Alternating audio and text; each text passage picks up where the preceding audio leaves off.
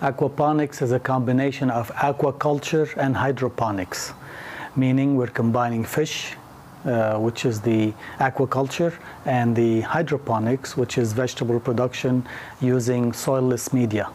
So the aquaponic is uh, the idea uh, combining the two where the fish waste uh, becomes uh, food for the plants. Uh, and the uh, plants, plant roots clean the water um, by absorbing all this uh, waste and uh, nutrients and all that. And then, so when the water goes back to the fish, uh, they it's recycled. It's a very uh, productive system. You can produce year-round. Many of the small farms, they produce, they sell to CSA on farms, restaurants, at farmers markets but the, uh, everybody wants to do uh, farm tours and lectures and this and that because everybody's interested. They want to see the fish. They want to feed the fish. They want to uh, go visit the greenhouse where their where their vegetables were produced. In theory, you can grow any vegetable because what you have in the water, you have oxygen, you have nutrient, you have water so anything can grow. Of course, uh, herbs, uh, lettuce, kale, um, watercress, spinach, uh, basil, those are small plants and their turnover is quick. Here is you have the fish tank, so the fish will be here and the water will flow by gravity um, to this first uh, tank, which is a, a filter, solids filter. So just by having some uh, uh, uh buffers here, um, the solids settle at the bottom and then the water rises and then move to this tank. And this tank has uh, uh, a biofilter.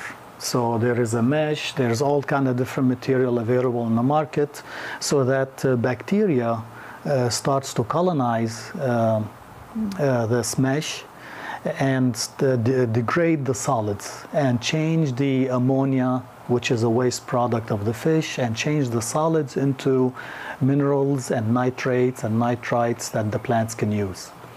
So again, by gravity, it will flow from here to here and then from here to here. And this one is the second stage uh, biofilter Right now it's empty, but uh, it will be. It can be filled with uh, gravel. It can be filled with uh, expanded shale, uh, granite, any uh, any neut uh, neutral st stone or gravel.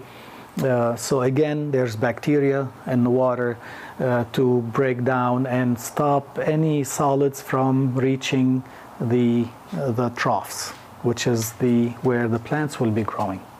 Then the water by gravity falls into here and fills up this place. And this is about uh, 10 inches deep but in reality you'll have only 8 inches of water because you have this foam.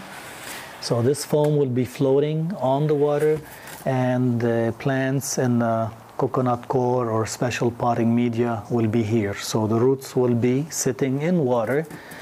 Um, and of course the water will come out uh, from this and the pump, this little pump, is what starts the cycle over again. It will take the uh, water from the end of the tank and push it back up to here.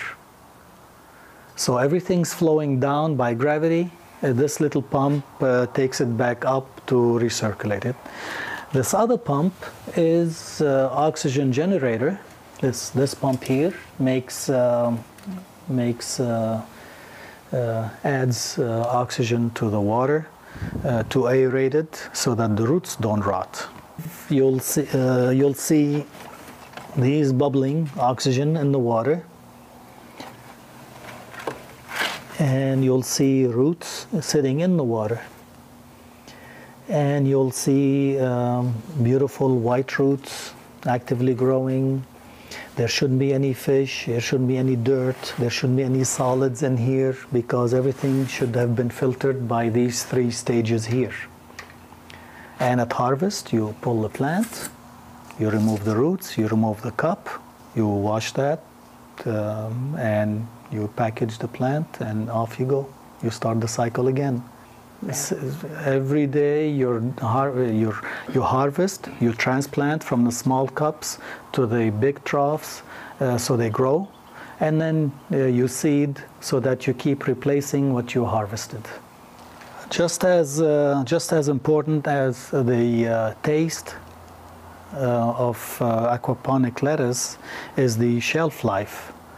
Commercial production, they cut the roots off and they package it and they immediately uh, cool it and store it.